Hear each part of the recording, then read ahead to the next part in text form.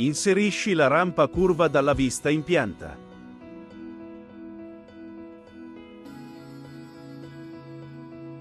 Puoi definire la larghezza, il numero delle alzate e la lunghezza delle pedate.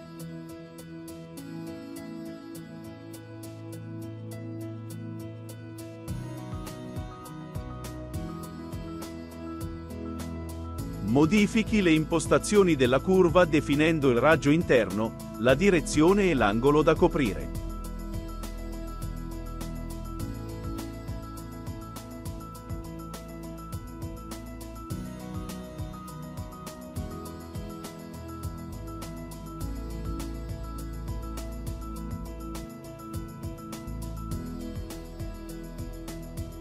Personalizzi la scala scegliendo la tipologia e definisci le caratteristiche geometriche di ogni suo elemento.